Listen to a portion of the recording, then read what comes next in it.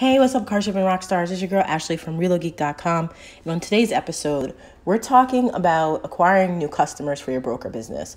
The other day, I hopped on a Facebook Live to ask you guys what's holding you back from starting your business. I get a lot of inquiries about people who are looking to start their business. They get all the steps, they know all the steps to start their business, and yet they never start. So that made me wonder what is actually holding people back. So I proposed a question what's holding you back? Judgment free. Tell me in the comments what's holding you back. And if it's private and you want to DM me, then DM me. And I thought people were going to say, well, I don't have enough money. I don't have a, you know, I'm in a day job or whatever. But surprisingly, or not surprisingly, I shouldn't say it's surprising, a lot of people said that the thing that's holding them back is the fear of not making enough money to sustain the business and the fear of not being able to acquire enough customers when leads are so expensive. Now, I have a different view about the cost of leads. In fact, you not what industry can you go into and literally start a business where you're given people, right, that are interested in your services, handed you, spoon fed to you, and all you got to do is call them and say, hey, I do this thing and I want you to be my customer. I would love to do it for you. Literally, that's it. And you, and even if leads were $5 a lead, honestly, that's still not too much. And because and it's because the amount of time it takes to build a business, to acquire the leads, to even get those type of leads is a lot. So the fact that you're able to pay somebody and be spoon fed these leads, and I'm not talking about the junk leads. That's a totally different ball game. I'm talking about the high quality leads that you're getting. So when it comes to the lead price, I don't think price is a problem. What I think the problem is, besides the fact that there's too many companies, lead companies out there that are selling you garbage leads, um, the problem is the brokers. Because you have no experience, because you're new in the business, and a lot of these people that are telling me this haven't even started their business yet. So they have this fear without even having jumped into it. But just the thought is scary. So if your thought is leads are expensive, it just sounds expensive and it's just too much, then you have two options. You can either suck it up, buy the leads. Well, you have three. Suck it up, buy the leads. You can not buy the leads and build your business yourself based on word of mouth and just getting out there and putting yourself out there and building a brand, which you should be doing anyway. Or you can just not start your business and keep sitting at your day job, dreaming of the day that you get to, you know, jump from there and actually start your business. You know, it's not that hard. You have three options. So let's just say you're taking the option where you're like, I'm going to do this. I'm going to jump in and buy the leads. I'm going to chuck it up and buy the leads. Well, this is where this podcast is going to come and play for you because now, if your fear, is acquiring new customers? Well, I just answered that. Your answer is you buy leads. That's how you acquire new customers. If your fear is leads are too much money, well, you sucked it up now. You're going to pay that money because you see the worth of it, the value. The third problem is you don't know how to convert these leads. And I think that when people are saying that they're afraid that they can't get new customers, they're really saying that they're afraid that they're not good at sales. They're afraid that they won't be able to get people to trust them when they're new. And now I spoke a little bit about this in the last podcast, but I created a course, Relo Academy, that literally will walk you through starting your business. It's literally going to give you step by step, including videos on how to start your business. Right? And I want you in there. I do. But if that's not your jam, cool. Relo Academy, the first class package, is going to give you cheat sheets, checklists, templates, email templates, calling scripts, additional training that's going to walk you through the process of creating emails and all of that stuff. So you're writing the emails that sell because that's important. That is so, so important. Now, it's also going to tell you no matter which package you choose, how to run an auto transport broker business. It's going to tell you how the industry works. It's going to tell you the things that you need to know. Now, obviously, like I said, the first class package is going to go further and give you the questions and answers that people are going to ask you. So there's nothing for you to think about. There is nothing for you to think about. The answers are there. So what happens when a person says this? Well, then this is what you say. So there's no question. You're going to come into this business being an expert. I'm using my 10 years, my 10 years in the trucking, transportation, and relocation industry combined to help guide you so you will not fail as far as what to say is concerned. But then now we have to take it a step further. The step further is all right, you've got all of that. Now what? Why do brokers fail at converting leads? And that's what I want to talk about today. That's what I want to talk about today. If you want to get inside Relo Academy, I'm going to leave the link right above here. Right at the top of the screen. You click that little information button. And I'm also going to leave the link below in the description and in the first comment. Shipmorecars.com forward slash Relo Academy. Shipmorecars.com forward slash Relo Academy. One word. Now, the mistakes that brokers are making. I've been working with brokers of all sizes, from the newbie broker to large brokerages. I have touched all sizes. I can tell you that the biggest mistakes are we're going to go through four of them. Number one, and these are, I wouldn't say these are in order. The last one, you're going to understand why it's last. You're buying too many leads. So many brokers come in here gung ho and they say, I want, you know, 200 leads a week or I want 100 leads a day. You cannot work 100 leads per day. I'm telling you that right now. You cannot work 100 leads per day. You need to figure out how many leads is feasible for you to work. And when I say work, I mean you need to put attention and love into each lead. So that way, when you're on the phone, when you're talking to these people, you're not rushing them off. You can always add more later. Do not start off being so gung ho that you have too many leads and they're not getting your attention. You're just a one man shop, one woman shop. There's no way you can work that many leads in a day. No way. Unless you're Superman.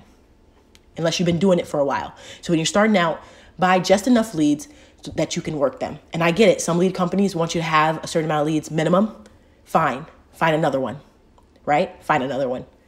Because then you're wasting leads. You're wasting valuable leads. I'm quality over quantity. I'd rather have three good conversations in a day with lead provi- with potential leads, knowing that I'm probably going to convert all three of them because I give them the time and attention. And when I used to charge $300 per serve per move, that's $900 in a day. $900, three leads, $900. Given I get to talk to all three of those people on the phone. Right? I'm not trying to amp you up. I'm not trying to tell you that, yo, this is what you're going to do. No, I'm not telling you that. What I'm telling you is quantity, I mean quality over quantity. I spent 45 minutes to an hour on each one of my leads. Some brokers are like, what the heck? How did you make any money? Well, quality over quantity. When I spend time with you on the phone, you're booking with me. You are booking with me, hands down. There's no doubt about it because I'm spending time with you. All right, we're not going to spend too much time on that. Moving on. So it, the next one, the first one was you're buying too many leads. The next one, you're being impersonal. You're being impersonal. And what does that mean? Too many brokers are using the generic email templates, the email scripts that these um, software companies are providing you. And yes, they've gotten better. Yes, some have tweaked it. But those software companies are not brokers. They don't have empathy. In order to succeed in this business, you need empathy. But you need to have enough to not be consumed by your empathy that you can't see and do your job, right? Empathy. Remember that. Being impersonal means your emails should say your name. I would go a step further, and in today's time, I'd even put a picture at the bottom of my email if I were you. I did that, worked like gold. And if you're afraid of people gonna see who you are, get over yourself. I say that with nothing but love. Get over yourself. Be more personal use the tags that they allow you to use. So it says like first name, that means it puts the person's first name there. Use those tags. Just because you're sending an automated email, it shouldn't sound automated. If you're on my mailing list right now, you think I write you those emails every single day, right? But I don't. They're already planned out, most of them. But yet you think so. You know why? Because I make them personal. That's what you need to do. Make them personal. I teach you all of that if you're in the Ship More Car selling system, which is in the first class package of Relo Academy and I'm gonna I'm trying to set up a workshop just for people who have started their business, don't want the extras, and just want the workshop to learn how to convert leads like a superstar, like a freaking car shipping rock star, because you're a car shipping rock star. You just don't know it yet. We're gonna get you there. Don't worry. Stop being impersonal. Yes, big companies can afford to do that. They can afford to do that. They have they have sales teams who are based on commission, and they do anything to get the sale. But you're the small guy. In order to make waves in a, in the ocean and make them count, you have to do above and beyond. Use that to your advantage. Don't be afraid of being the small guy. Use that to your advantage. Moving on, you're not working the leads. You're not working the leads. So many people I talk to buy leads, buy leads, and let the automated system do the work. They're not calling. They're not. They're not calling. They're not talking to people. They're not emailing people. They're not reaching out. You need to work the leads. It's not easy. It's not a business where you can just set up an automated system and boom, you're making millions. I wish, right? Because then I could have still taught you guys and let my system run itself without having to hire people. I never wanted to hire people because I felt like nobody can do the job like I can do it. Obviously, that was very egotistical of me, probably a bit narcissistic, but you know, I really, really valued what people think of me. And so that's why I never, I get that question all the time. Well, Ashley, if you're so good, why did you leave that? Well, I had to choose between teaching you guys and running that business. What makes more difference? If my job is to change the industry, what's gonna make more difference? Me running my little single man shop, making a lot of money, six figures, seven figures? No. Or me helping the new guys that are coming in so you guys don't make the mistakes that so many brokers, even now to this day, are making, right? Can I get a yes? If you're listening right now, I want you to scream, Yes, Ashley. I hear you. I hear you. Let me stop before I start preaching. you guys don't want to hear me preach. So that's three. And the last one I'm going to share with you you're not following up. You are not following up. And I got to keep my voice down. My daughter sleeps, so I don't want to wake her up. You're not following up. Follow up, follow up, follow up. From small companies to medium sized companies to big companies have all written to me with that problem with their sales team. Ashley, can you get my sales team to freaking follow up? Because that's the biggest biggest way for you to make money. You know how much money people are leaving on the table by not following up? You need to follow up, guys. Oh, I wish I was on video so you can see my face right now. Oh my goodness, I wish I was on video right now. Follow up. Follow up. Follow up. Promise me you're going to follow up. Right now, I want you to write that down. If you're driving, write it down later. I will always follow up. You know how much gold is in following up? Because as the brokers trail off, gone to the next person, a salesperson's job is just to convert sales. Like if they spend too much time on a lead, they're losing money in their head, right? So you be the different. You be different from a salesperson. You're not a salesperson. You're a freaking car shipping rock star. Car shipping rock stars do things different. They follow up. They follow up, follow up, follow up. I'm gonna say that until you're tired of hearing me say follow up. Trust me, the gold is in follow up. You know what I mean? People that I didn't get on the phone, I left messages, and followed up. I didn't follow up with the generic, hey, here's your quote again. No, I followed up with, hey, it's Ashley. I called you the other day. I just want to check back in. Are you still interested in shipping your car? Do you have any questions? I'm here for you. Let me know. Anything you want to ask me, I'm an open book. I promise to be honest with you. Human, empathy, being personal, working the leads, not buying too many, quality over quantity. Do you see how they all tie in together? All four of these things. Stop being afraid to start your brokering business because of customers. I'm gonna get you there. I'm gonna get you there. My students come to me and say, It's easy for me to get customers. I use your methods. I get the customers, I get the leads. Now the problem is, well, some of them have problems getting people on the phone, which is a whole different, different story. Some of them have crappy leads. That's a whole nother story. But the people who get them on the phone and use my techniques, they win. The problem is finding carriers. Now, that's a whole nother conversation for a whole nother day. This podcast has gone far, far too long. Follow up, be personal, work the leads, do the work. Quality over quantity. I want you to remember those four things. I want you to stop being afraid. I want you to stop being afraid. You got this. Do you want to wake up every single day wondering what if? I know I don't. It was hard for me to let go of my broker business. Hard for me to let go. And to this day, sometimes I think I, I'm like, maybe I should start it back up. Maybe I should stop teaching because I don't make as much as I was making brokering. I don't. You want to know the honest truth? I don't make even half of what I was making brokering. I don't. I charge so little.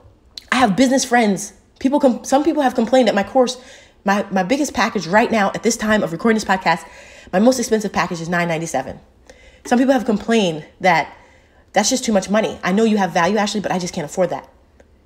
But can you afford not to? Right? Obviously, I have cheaper packages. I have business friends who are crushing it right now, telling me, Ashley, you're leaving so much money on the table. Your course should be at least three grand, $3,000. That's what my business friends are charging. They're making seven figures. I'm not even making six. That's funny, right? Doing this. I spend my time doing this because I'm passionate about helping you pursue your dreams. I'm passionate about changing the industry. I'm passionate about just letting people know that there's a way to do brokering the right way. And I'm so grateful, so grateful that the industry is changing, which is a whole nother podcast. I'm grateful that it's changing. You know why? Because the brokers that were in it as salespeople are going to start falling by the wayside. And now it's more personal. People want experiences. You create experience for somebody, you get them. Somebody said they feel like the industry is going for the worse. It's not. It's weeding out the garbage people. If you build a brand, if you have empathy, if you treat people like you want to be treated, the fundamentals that they teach you as a kid, then my friend, you're gonna be a car shipping rock star. People still are moving cars. It doesn't stop. People are still shipping cars. That's the crazy thing, right? You need to find those people.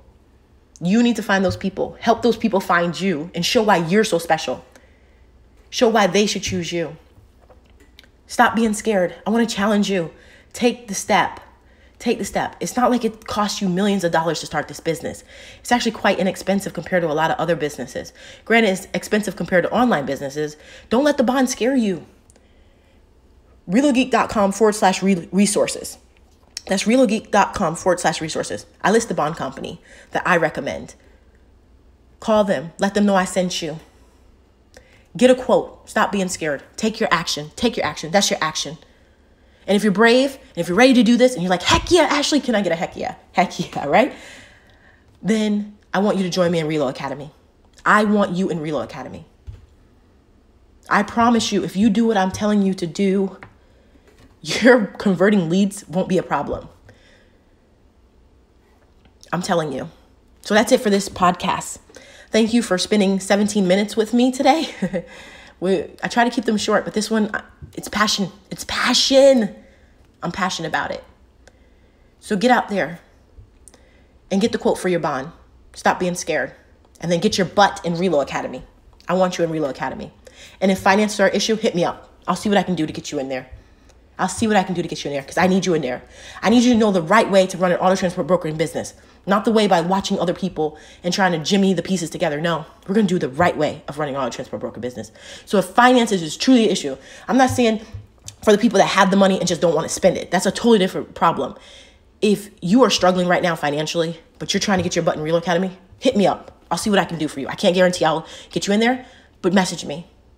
Message me. That's it for this podcast. If you like this podcast, give it a thumbs up. Don't forget to subscribe to the YouTube channel for more podcasts and videos just like it. I'm Ashley from ReloGeek.com. Now get out there and make moves happen. I'll talk to you guys in the next podcast.